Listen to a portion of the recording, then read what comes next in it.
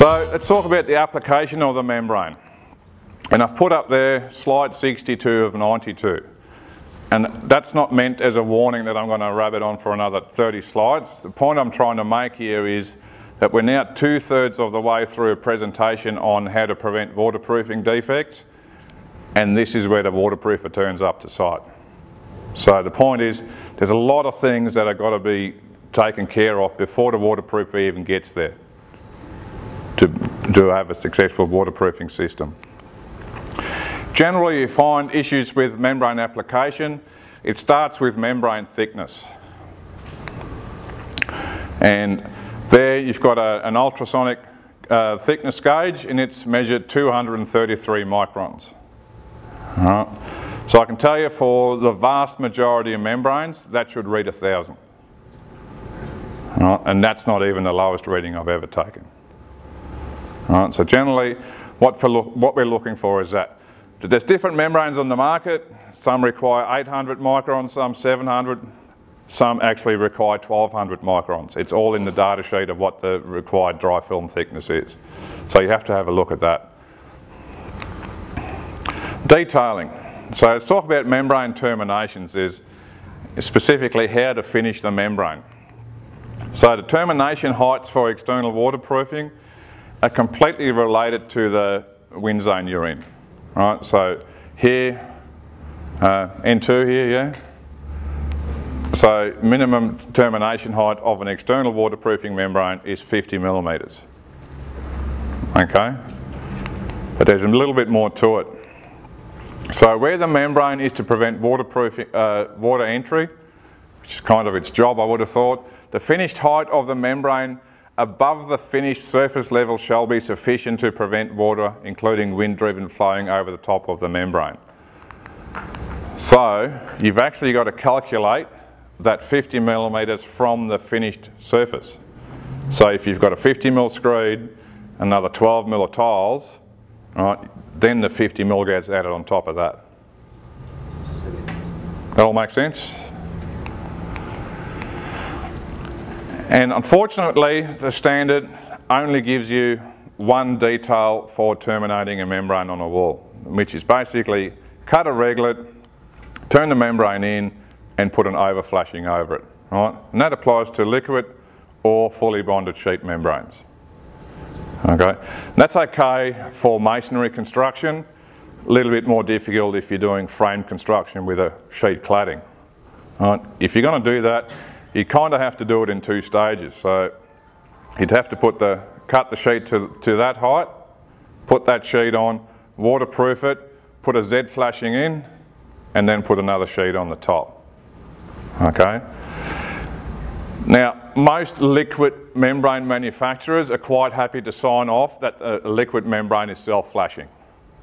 Okay, so you can put the membrane on, it'll flash itself, no problem, right? But According to the standard, that would then be an alternative solution. Right, so you'd actually kind of have to run it past your certifier.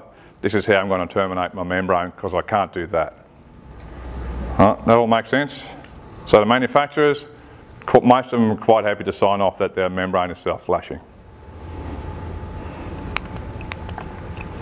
Downward terminations.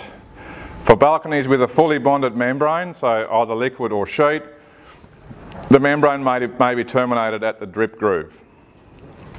So waterproof the top, come down the face, come in underneath, terminated in the drip groove.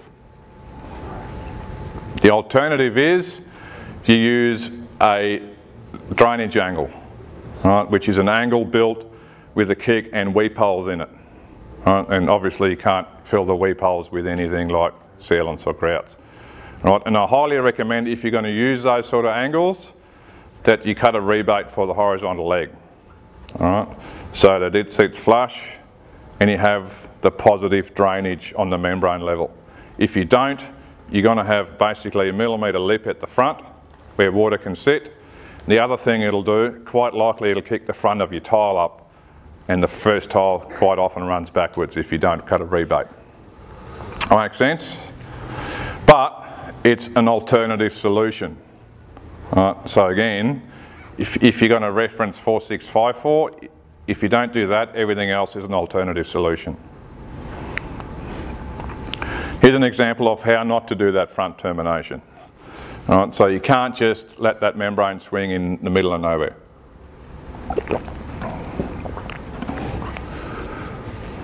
For your CFC decks, excuse me, the manufacturers actually want you to have a 40 to 60 millimetre overhang. And then you put an L-shaped angle underneath it which forms a drip edge, okay? So the detail there in that picture as it goes across comes down the, down the face. My opinion, that's not quite far enough. I reckon you should actually take the membrane across the bottom and attach it to that drip edge. Okay. And is an example of how not to do the front edge of a balcony. Right. In this case, obviously, uh, Chippy might have been just a little bit short on his set out, but waterproofer should never have touched that. As soon as he put that membrane on there, he's basically saying, I'm happy to guarantee that I can make this junction waterproof. So you should never touch it. The other thing while we're on that picture is quite often now the designers don't want the overhang. Right, they want a flush finish. Also fine, basically you bring this top sheet across till, you know, so you can slip the, that sheet underneath, the fascia sheet underneath it. So your joins on the, on the vertical side, not on the horizontal. Then you'd actually need to bring the membrane all the way down the face of that. Right, and your drip point becomes down the very bottom here. That makes sense? So let's talk about doors onto external waterproofed areas. So what the standard wants you to do, um, basically membrane come up the face underneath the door and then up the inside of a water stop angle. Right, so what does that mean in reality? That angle has got to go in before the door.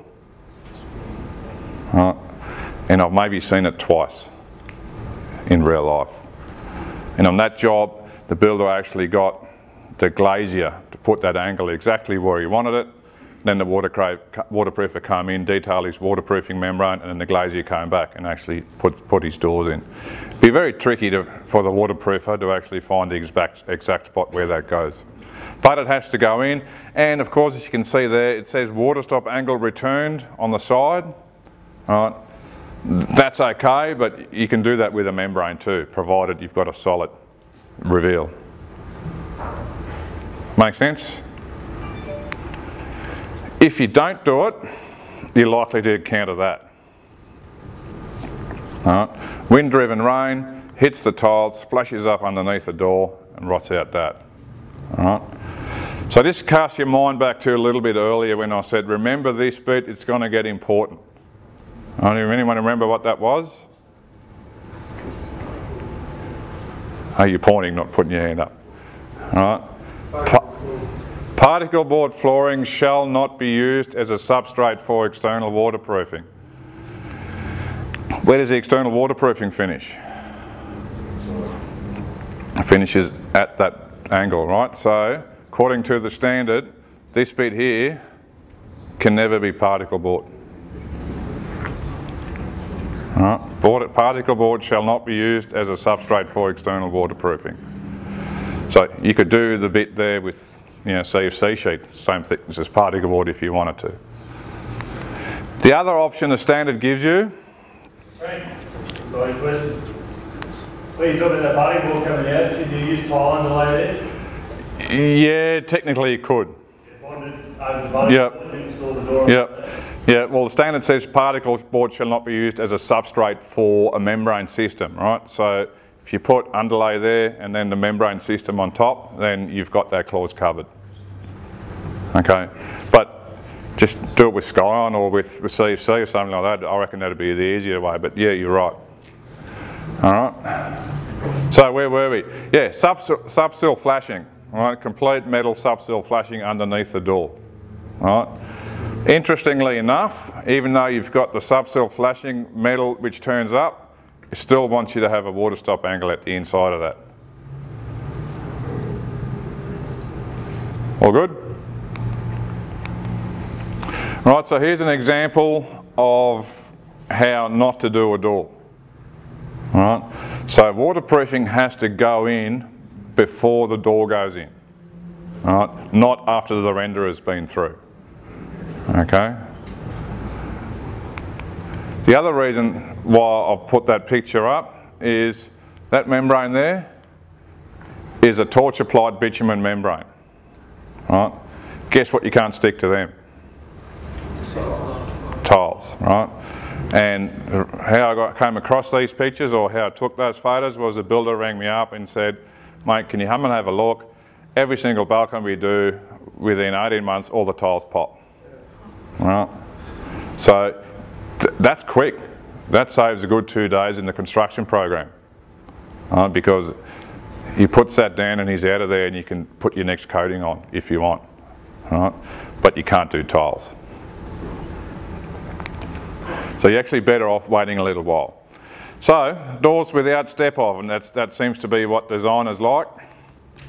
When you go no, uh, smooth level transition from inside to outside, the standard has a way of doing that. What it wants you to do is basically have the door sitting in a little rebate and put a grate right outside the door. And in reality it looks like that. So that's all well and good for concrete or masonry construction. It'd be a little bit more difficult if it's a compressed fibro deck. Also, compressed fibro decks have to drain off the outside edge, so you've got to calculate that in as well.